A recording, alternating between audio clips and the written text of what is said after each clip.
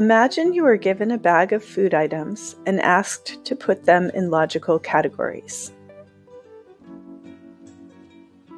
What criteria would you use to organize these items? Maybe you would start by putting items with the same ingredients together.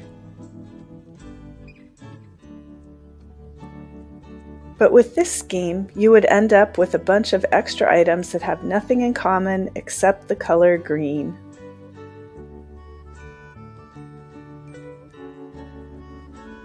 You could organize everything by color, but you decide to start over instead. You consider other organizational schemes, such as classifying the items by type of food such as fruits, vegetables, and nuts.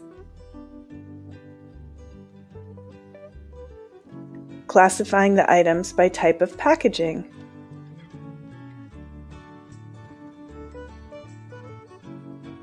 Classifying by how much each item needs to be prepared before it's ready to eat.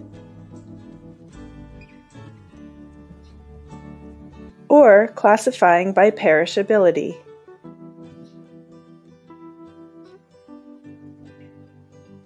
How might your categorization scheme depend on the context? For example, would an artist organize the items differently than a grocery store owner? Let's look at a different group of items. Which of the items to the right is not like the others?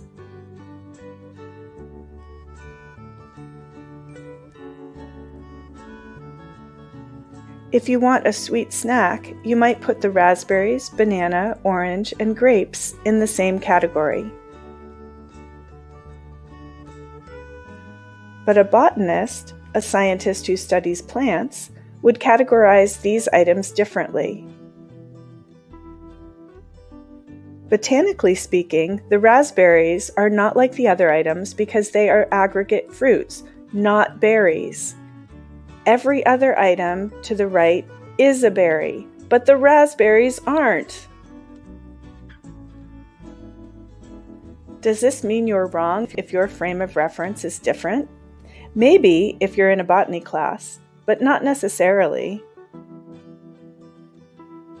Categories can be useful for organizing and understanding the world, but depending on the circumstances, there may be lots of valid ways to classify things.